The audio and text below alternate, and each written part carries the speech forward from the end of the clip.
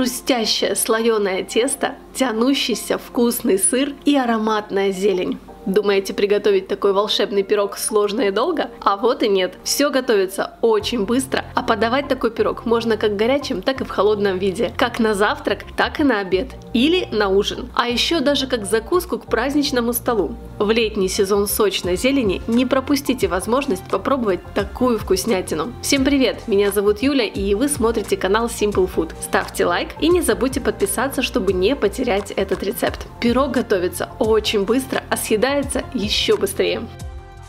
Для начала давайте займемся начинкой. Нам нужно натереть сыр на терке. Для этого пирога лучше использовать сыр сулугуни или моцарелла, но и с домашней брынзой будет тоже очень вкусно.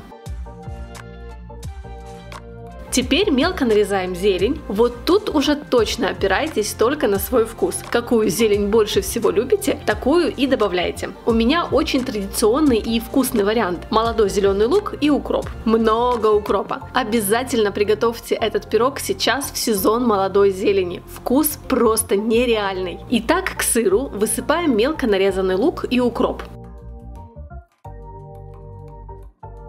Разбиваем одно яйцо, наливаем немного молока, добавляем перец по вкусу. Также вкусно использовать смесь перцев, тогда вкус будет более пикантным. Немного солим, но тут надо учитывать, насколько соленый у вас сыр, чтобы не пересолить. Теперь все хорошо перемешиваем. Добавляем в начинку одну столовую ложку муки и снова все хорошо перемешиваем. Вот и все. Вкуснейшая начинка готова.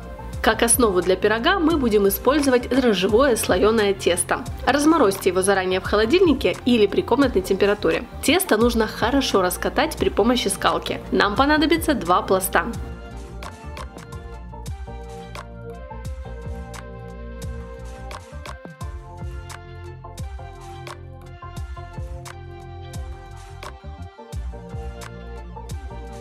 Форму, в которой будем выпекать пирог, смазываем сливочным маслом.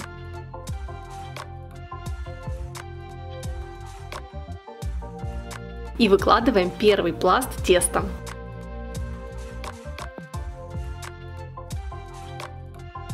Теперь аккуратно выкладываем начинку, равномерно распределяя по всей форме.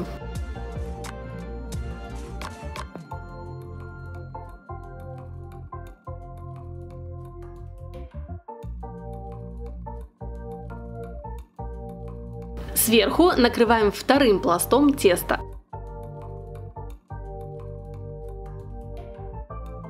С помощью ножа я срезаю остатки теста, аккуратно защипывая края.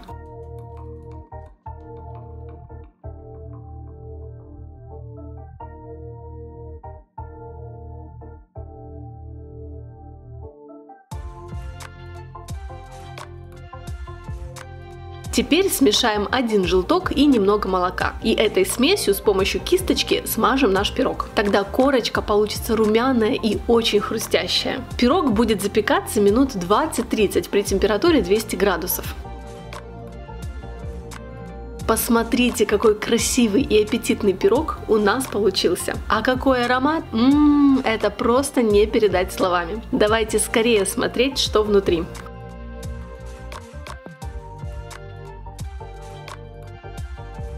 Вкусный, сочный, с тянущей сырной начинкой внутри. Просто нет слов.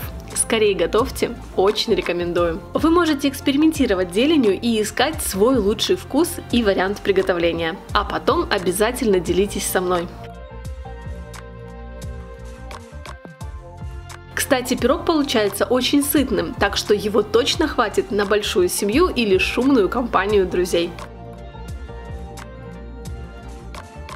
А вообще вы любите пироги? Какой ваш любимый? Напишите мне в комментариях. Жду ваши фото отчеты в инстаграм, когда готовите вместе со мной. Ставьте лайк, если видео было полезным и подписывайтесь, если вы еще не со мной. До новых встреч. Пока-пока.